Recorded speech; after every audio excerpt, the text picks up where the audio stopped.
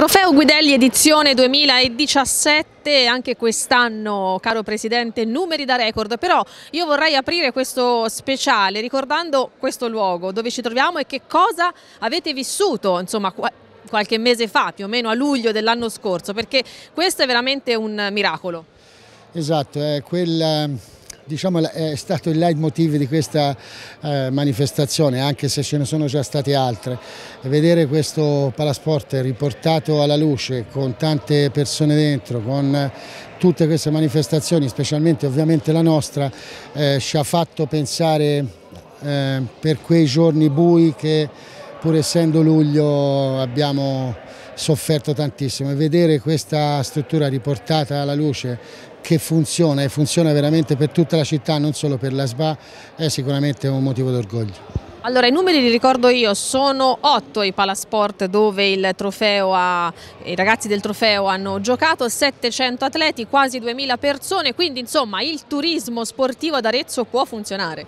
Sì, noi da anni che continuiamo a sostenere questa tesi, eh, se diciamo che ce ne sono di manifestazioni che le società sportive organizzano, eh, ma molte sono di un giorno solo, quindi il famoso tocca e fuggi è un turismo un pochino stretto. Noi siamo riusciti da tre anni a mantenere ad Arezzo per tre giorni, questa volta anche quattro qualcuno, circa diciamo 2000 persone. Questo credo che sia una risorsa per, eh, veramente non solo per eh, lo sport, per le società o per, per noi poco, ma eh, più che altro è, eh, è il fatto di io vi, vi, potrei far parlare con Walter Magnifico, un grandissimo giocatore di pallacanestro, ha detto, mi ha detto ieri, io nel mio eh, curriculum ho, ho, ho, visitato tantissime città ovviamente, Arezzo purtroppo non l'avevo mai vista perché non c'era una, una, squadra di basket di, di, quelle dimensioni, ha detto io oggi sono stato ad Arezzo, è una città bellissima, aveva quasi gli occhi lucidi, ecco queste sono secondo me le cose più belle per un aretino vero, cioè perché allora lì spunta l'orgoglio di aver fatto una cosa vera sia per la tua società ma anche per la città. Ecco, quest'anno avete inserito questa novità dell'hashtag, quindi il trofeo che diventa comunque anche social, un modo di comunicare con i più giovani, con i giovanissimi, insomma sicuramente molto originale, ma lo spirito del trofeo è sempre lo stesso, quello di comunicare la sportività, la lealtà verso insomma, gli avversari, tant'è che in questa serata che noi andremo a vedere, a premiare questi ragazzi, insomma tutti saranno allo stesso livello, non ci sarà primo, secondo e terzo posto, almeno stasera. Per stasera noi non cambiamo la formula anche per quest'anno, questa sera saranno premiati tutti gli atleti come sempre, né primi né secondi né terzi, domani chi farà le finali arriverà primo, avrà il proprio trofeo, però la cornice e diciamo, la politica della nostra società e del nostro torneo deve essere, almeno per questo torneo, la solidarietà e l'amicizia fra ragazzini di quell'età di tutta Italia. Questa è eh, sempre stata e spero di poterla portare avanti più possibile. Il vostro main sponsor che è Amen, insomma quest'anno ha fatto uno sforzo un pochino più grande rispetto agli anni passati. Esattamente, quest'anno eh, Giovanni Licastro, l'amministratore della Amen, ha pensato ad una creazione, un piccolo gioiellino da regalare ai ragazzetti che verranno premiati questa sera, un gioiellino firmato Amen relativo proprio alla pallacanestro, quindi eh, mi inginocchio quasi di fronte a questa sua cosa perché è veramente un, un bellissimo pensiero. E non dimentico anche il secondo sponsor che è Illuminati che regalerà a tutti eh, i genitori, diciamo, le persone che verranno qua eh, questa sera eh, un prodotto tipico del nostro territorio che sono le, le, le, diciamo, le mele della Val di Chiana perché volevamo far sentire anche un po' il sapore della nostra terra. Ecco, il trofeo Guidelli ovviamente riguarda i giovani, i giovanissimi, però parliamo anche di questa prima squadra, è stato un bel campionato, diciamocelo, magari chiuso con un pizzico di amarezza.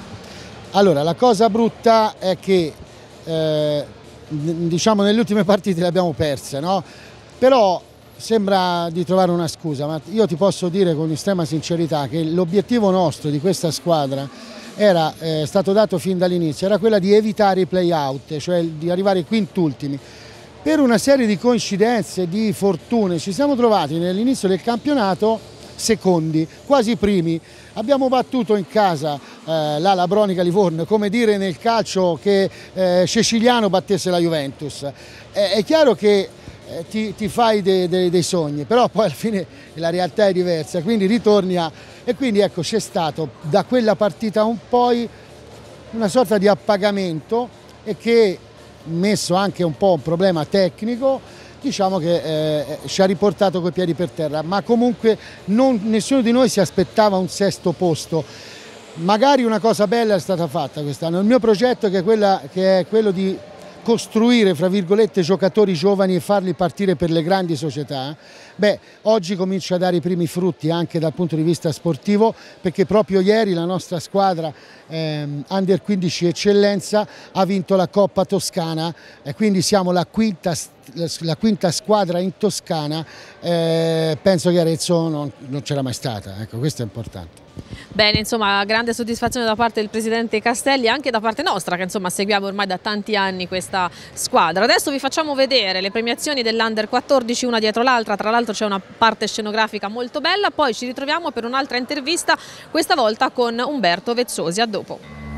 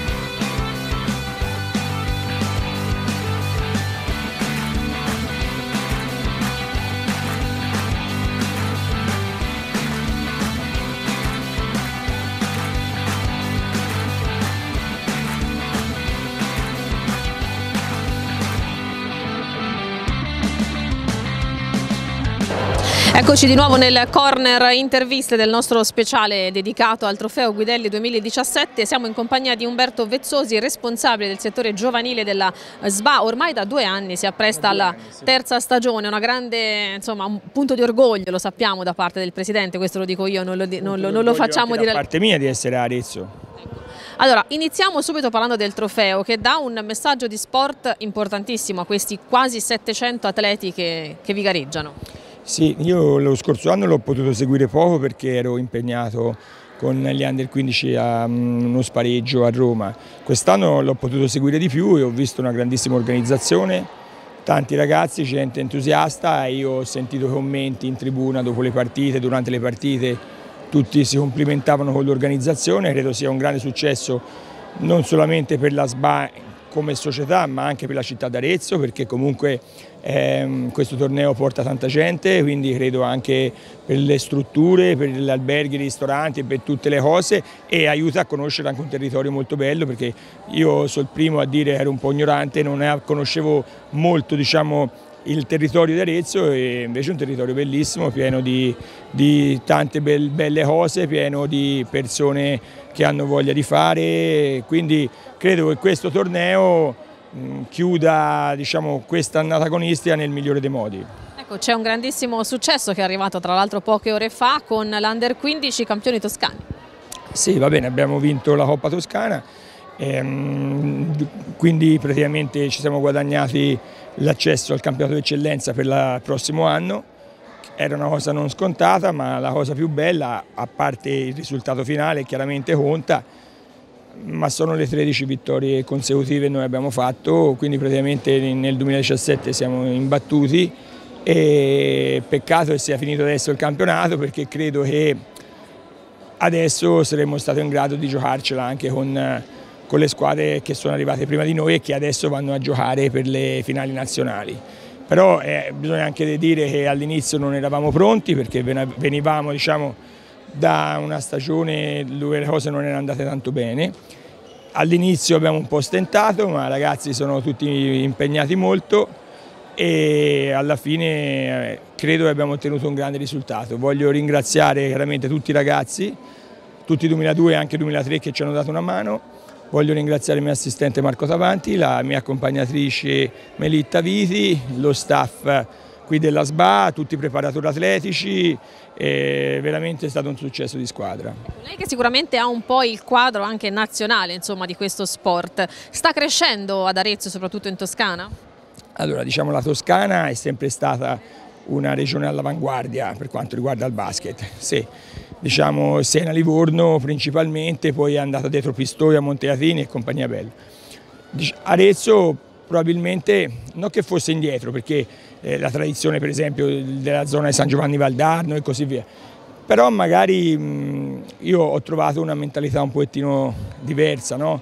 e quindi la prima cosa che stiamo cercando di fare, stiamo cercando di cambiare un po' la mentalità cioè, qui c'era un po' più la mentalità che comunque tutti i ragazzi devono giocare, tutte, cioè, è chiaro che tutti devono giocare, tutti si devono divertire, ma se si vuole fare uno sport e crescere anche un po' di livello, come succede nella vita di tutti i giorni, come succede nella scuola, anche nello sport c'è chi è più pronto all'inizio, chi è meno, un po' meno pronto, ma chi è meno pronto non è che deve avere problemi perché può essere meno pronto ora ma può essere più pronto dopo, quindi se si impegna, lavora, anche se gioca un po' meno, ma credo che alla fine si toglieranno le proprie soddisfazioni, quindi secondo me bisogna fare un passo avanti sulla mentalità, però penso che ce la faremo bene.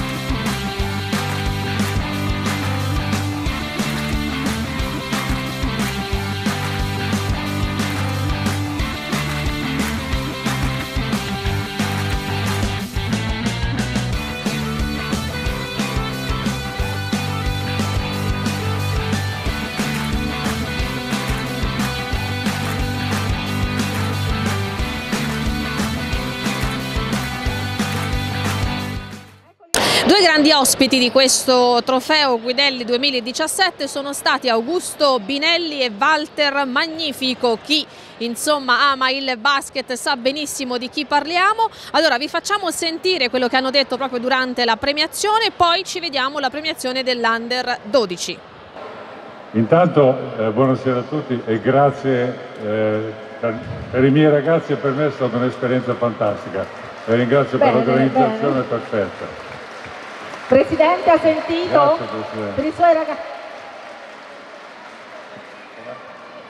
Ah, eccole là. Ah, caspita, questa è una sorpresona, eh, ma il Presidente quest'anno ha proprio esagerato. Ecco, queste sono le immagini di quando sì, poi... Beh, eh. Quindi insomma vi ha fatto una bella... Un po' di nostalgia. Un po' di nostalgia, una bella nostalgia però, una bella nostalgia. Comunque, ecco, no, per, per, quanto ci riguarda, ecco, ecco io con uh, Gus abbiamo vissuto un'esperienza fantastica perché era alla, alla conclusione dei, dei, mondiali, dei campionati del mondo del 1986 in Spagna, eh, coach Mike Fratello, Mike Fratello degli Atlanta Hawks, lui era stato scelto nel draft eh, per Atlanta e io sono stato invitato a provare, abbiamo passato dieci giorni fantastici in America, è stata Beh. una bella esperienza. E poi quando giocavo, ho giocato un anno con lui alla Virtus Bologna, dopo averne giocati 19 a Pesaro, è stato un piacere, ma quando giocavo contro di lui era difficile da superare con questa sua altezza per far canestro bisognava fare gran fatica. Buonasera a tutti. Voglio fare anch'io i complimenti ma sotto al Presidente per l'organizzazione del torneo. Come ha detto lui gli scontri non erano dei più facili per me, anche per me perché quando sei sotto canestro una cubattarella di qua una cubattarella di là ci si diverte sempre ed è sempre un po' difficile. Poi quando è stato un anno con me a giocare, a Bologna stiamo giocando insieme, le botte sono state tutti i giorni. Prima erano due volte all'anno, dopo erano tutti i giorni. Bene, io mi metterei vicino a loro, guarda, se mi fai questa foto nella mia carriera sarà una roba memorabile, veramente memorabile.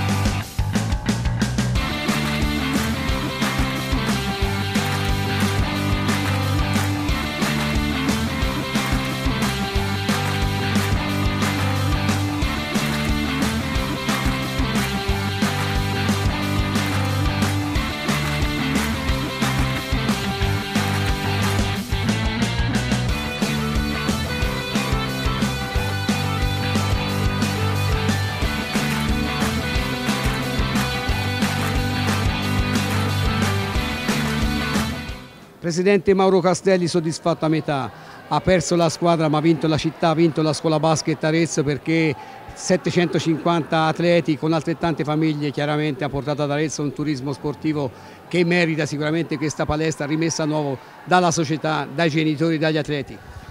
Guarda, io sono veramente estremamente felice del successo che questo anno inaspettatamente, eh, avendo usato lo stesso format organizzativo dello scorso anno, io non ho mai ricevuto così tante congratulazioni da tutte le squadre partecipanti. Ci hanno fatto veramente, basta guardare sui social, ieri e oggi sono migliaia e migliaia di post eh, su Facebook e su tante altre cose. Quindi eh, diciamo a livello organizzativo questa volta non abbiamo fatto nessun tipo di errore eh, io devo inginocchiarmi e ringraziare i 40 volontari della SBA che in tutti questi tre giorni dalle 6 la mattina fino alle 8 di sera costantemente si sono alternati a fare i responsabili di campo. Eh, non è una cosa facile organizzare un evento di queste dimensioni, la cosa importante è che il nostro palazzetto, la nostra società e in particolar modo la città di Arezzo abbia usufruito del basket in questo momento per avere risorse per quanto riguarda il turismo, perché ricordiamo tre giorni ad Arezzo, 1600 persone, forse anche 1700, credo che non ci sia evento che è paragonabile.